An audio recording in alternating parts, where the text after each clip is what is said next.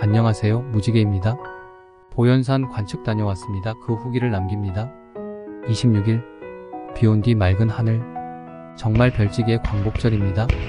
원래는 내일 별빛 축제 때 보현산에 가기로 하였으나 이런 맑은 날 그냥 있을 수가 없네요. 오늘도 보현산 간다고 마늘님께 보고하니 당장 날벼락 할 수 없이 죽은 듯이 한참 있으니 겨우겨우 그제사 떨어진 승낙 아싸 키우키우키우 집에 귀가한 후 요리 식사 설거지 등등을 하고 장비를 싣고 출발하려는데 마눌님이 자기 운동하러 갔다 온 뒤에나 가랍니다.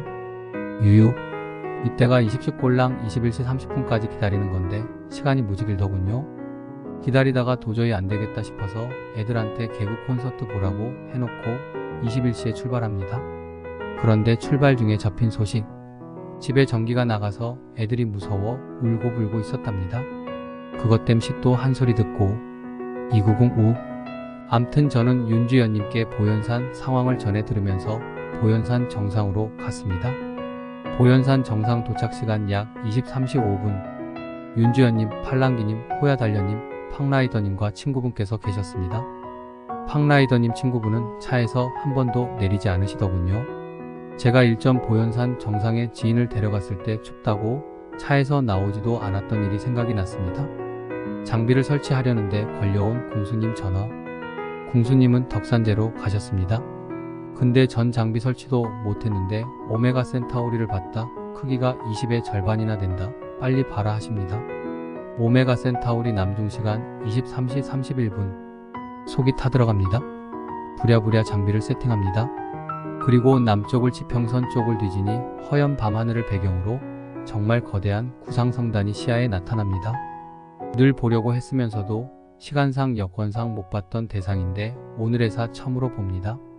정말 엄청 큽니다. 허연 하늘에서 이 정도라니. 고도만 좀 높았으면 20백도 아이피스의 시야를 가득 채우지 않았을까 합니다. 호야 달려님, 팔랑기님, 윤주연님께서 차례로 내려가시고 전 팡라이더님과 은하감상에 빠졌습니다. 100일의 나선팔은 선명했고 80일 나선팔 두 개도 잘 보입니다. 머리털 처녀 큰곰 쪽을 뒤지는데 하늘도 좋고 냉각도 되니 은하가 엄청나게 보입니다. 길쭉한 은하, 홀쭉한 은하, 작은 은하, 큰 은하 등등에서 은하만 수없이 봤습니다. 이날 은하만 최소 100개는 본 듯합니다. 성도를 보면서 일일이 확인해야 하는데 날이 좋다 보니 성도 보고 확인할 시간조차 아까웠습니다. 그래서 일단은 무조건 보자로 방향을 잡았습니다. 그래서일까요? 가장 인상 깊었던 것은 머리털 쪽 충돌은하입니다만 이게 몇 번이냐고요? 모릅니다. 제가 오늘 본 모든 은하의 이름은 죄다 몰라입니다. 키우키우. 이름을 알면 물론 좋지만 모른들 또 어떻습니까? 지금 이 순간은 이 대상의 이름이 뭐냐가 중요한 게 아니고 이러한 대상들이 있구나 하는 것을 눈으로 보고 느끼며 기억에 담아두는 게 더 의미가 있다고 생각했습니다. 그래서 이날 보려고 미리 준비했던 몇몇 대상들은 그대로 차후를 기약할 수밖에 없었습니다. 40가지 은하수를 바라보며 팡라이더님과 담소 및 은하 감상을 했습니다. 4시 30분 하늘이 환해지자 장비를 챙겨 천문과학관으로 철수했습니다. 27일 천문과학관 캐빈에서 도둑잠 자고 11시경 눈을 떴습니다. 밖에 나와 이오파 송 교수님께 인사를 드리고 식사를 하고 나서 상황 판단을 시작합니다. 이때가 13시. 부랴부랴 집에 가면 15시. 한숨 돌리고 18시에 다시 집에서 출발해야 20시 천문과학관 도착. 차라리 여기서 눌러 앉아 있는 게 남는 장사? 겠다는 판단을 하고 마늘님께 보고합니다. 어떻게 되었냐고요? 노코멘트입니다. 유유. 성도 보고 틈틈이 카페도 들어가 보고 하는 중에 호야 달려님께서 오셨습니다. 별빛 축제 행사장에 설치된 태양망원경으로 태양의 흑점을 처음으로 봤습니다. 전 이전까진 태양을 볼 마음이 없었습니다. 이유는 무서워서요. 자잘한 태양의 흑점은 참 뭐라 설명해야 할지 차를 보니 바퀴 하나가 눌러 앉아 있습니다. 할 수 없이 비상 서비스를 요청하여 타이어에 지렁이를 심었습니다. 별 보기 전에는 4년에 겨우 지렁이 하나 심었는데 별 본 지 1년 만에 지렁이를 4개나 심었습니다. 유유 16시 30분경 달이 보이자 서서히 행사장에 장비를 설치합니다. 그리고 오시는 분께 달을 보여드립니다. 잠시 후 금성을 맞추어 두었는데 별로 인기가 없습니다. 관습입니다. 하필 금성이 이날달의 모양과 비슷해서인지 완전 저배율로 달을 보는 것이라 생각하시더군요. 하늘이 좀 어둑해지자 달을 보러 오시는 분들도 많아지고 이후 토성을 찾아 보여드릴 때는 많은 분들이 줄 서서 기다렸다가 보시더군요. 그 많은 분들 중에서 두 가지가 기억이 남습니다. 첫째는 남다르게 핸드폰을 꺼내서 달 어포콜을 시도하셨던 여성분이시고요. 둘째는 중년의 부부, 저도 중년인가요? 히우키우키우인데 너무너무 신기하시고 좋아하시더군요. 일전 메시의 마라톤 때 한 아주머니는 저한테 가정은 어떠하시고요? 하고 물으셨는데 이 부부께서는 참 좋은 취미생활 한다고 하시더군요.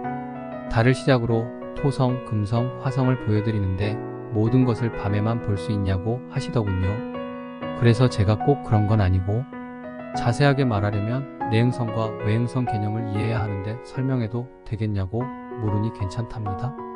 그래서 그 차이를 말씀드리고 내행성은 초저녁과 새벽녘에 볼 수밖에 없는 이유를 말씀드리니 더욱 흥미로워 하십니다. 그 두 분의 천체 흥미가 남다른 듯하여 81, 82 보데은하나 Leo Triple, M36, M37을 이어서 보여드렸습니다. 이날 제가 보여드린 분이 한 100명쯤 되려나 모르겠습니다. 제가 굳이 이 행사에 참여하겠다고 마음먹은 것은 저에게 좋은 별빛을 선사한 보현산에 이렇게라도 빚을 갚아야겠다는 생각이 들었기 때문입니다.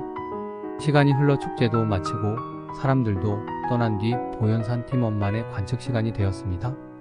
그런데 얼마 후 양평의 빌리님께서 오셨습니다. 인제에서 어젯밤 관측하시고 오늘은 보현산까지 그동안 카톡으로 전화로 종종 연락만 했을 뿐 정말 한번 뵙고 싶었는데 이렇게 보현산까지 찾아주시어 정말 감사했습니다. 0시 30분경 펼쳐두었던 장비를 접고 빌리님 및 엄친아디 블랙님과 함께 다시 정상으로 올라갔습니다. 바람이 약간 있어 주차장 안쪽 공터에 자리를 잡았습니다. 하늘은 맑았으나 시상은 어제보다 약간 안 좋았습니다. 작은 곰자리 은하 5832 매그 12.0와 6217 매그 11.1 찾아보았는데 6217이 아주 작고 어두웠습니다. 3172 POL ARISS IMA 보리엘러스는 요 근래 관측 때마다 시도해보지만 여전히 눈에 잘 들어오지 않습니다. 궁수 자리에서 빌리님께서 추천해주신 SH-35를 봤을 때는 와 정말 빨려 들어가는 줄 알았습니다. 빌리님께서 우주기지라 이름 붙이신 게 10분 공감이 되더군요. 빌리님은 이후 스케치를 하셨으나 딥블랙님은 은하수가 한창일 때 졸음을 참지 못하셨고 전 가뜩이나 저질 체력인데 이틀 연속 밤새 마련이 한계에 도달했는지 저 역시 눈꺼풀이 천근만근 무겁습니다. 5시가 다 되어 어제와 마찬가지로 하늘이 밝아오자 장비를 접고 철수했습니다. 근데 빌리님은 눈도 안 붙이시고 곧바로 양평으로 올라가시네요. 전 오늘도 천문과학관서 한숨 자고 일어나는 대로 즉시 집에 왔는데 집에 와서 바로 뻗었습니다. 집 분위기요? 한겨울이 따로 없더군요. 키우키우키우. 이오파 송 교수님께서 하신 말씀이 기억이 납니다. 구름이 없는 낮에는 태양의 빛이 바로 전달되기 때문에 덥지만 밤에는 우주의 기운이 전해지기 때문에 추운 것이라는 말씀이요. 이렇게 보면 밤하늘 관측의 매력은 우주의 기운을 느끼고 받을 수 있다는 데 있는 게 아닐까요? 그래서 이번 무리수까지 두었던 관측은 별빛 축제 때 많은 사람과 별지기님들, 은하수 부근의 숱한 별들, 지난밤 보았던 백여 개 은하들, 그리고 우주의 기운까지 마음속에 고이 품고 돌아왔습니다.